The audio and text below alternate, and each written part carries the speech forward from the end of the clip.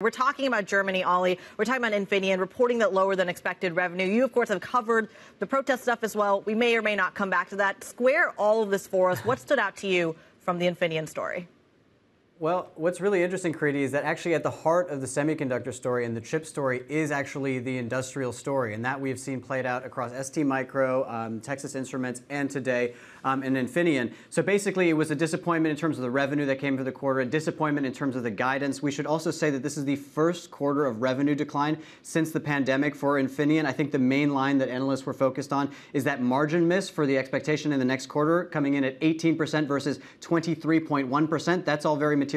But again, back to the chip story, what we're seeing is a slowdown not in AI chips, not in the super sophisticated, high demand stuff, but for, for industrial applications. And that is a slowdown we've seen across the industry. We see the same thing in Infineon. However, the part of that is supposed to offset that for Infineon is the automotive sector, where actually they see that demand is still staying resilient. Does that stay, though, is the big question.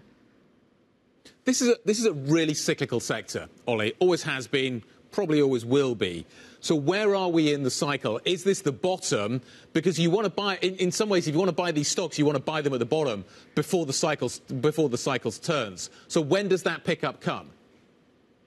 Yeah, that's an interesting question, Guy. Unfortunately, if you want to buy the bottom, you probably have missed it because I was looking at the Philadelphia Semiconductor Index, and despite the fact that we've seen, you know, kind of a bottom for the chips, it's close to its all-time high, right? So what we got last night was actually the sort of um, the Industry Association for Semiconductors putting out their outlook um, for this year. First of all, we should say that last year semiconductor sales fell 8.2 percent, but they do expect a bounce back this year of up 13 percent to a record year for semiconductors. But they keep saying, Guy, uh, in the back half.